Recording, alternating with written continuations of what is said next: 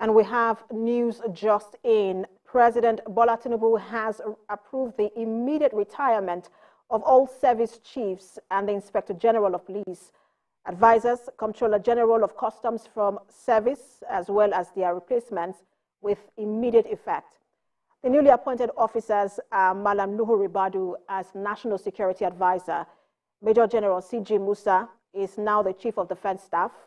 Rear Admiral E.A. Ogalla is the Chief of Naval Staff. Mr. Uh, Major General T.A. Major T.A. Lagbaja, Chief of Army Staff. The Air Vice Marshal H.B. Abubakar, Chief of Air Staff. DIG Kayode Egbetokun is now the Acting Inspector General of Police, while Major General EPA Undiendeye, Chief of Defense Intelligence. Mr. President has also approved the following appointments.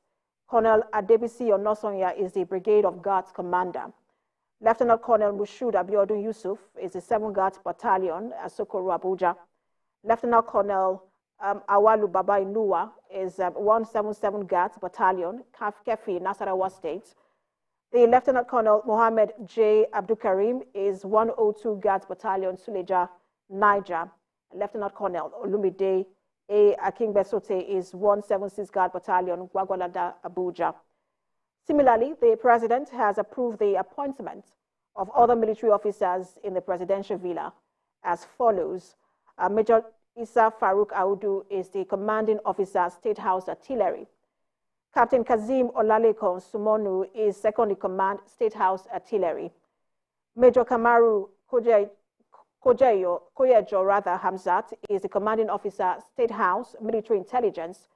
Major T.S. Adeola is commanding officer, State House Armament, and Lieutenant Aminu, second in command, State House Armament. I will bring you more details on that story as we get them, but what we know now is that President Bola Tinubu has approved the immediate retirement of all service chiefs and the Inspector General of Police. He has also appointed um, new advisors, service chiefs, and um, other heads of intelligence agencies.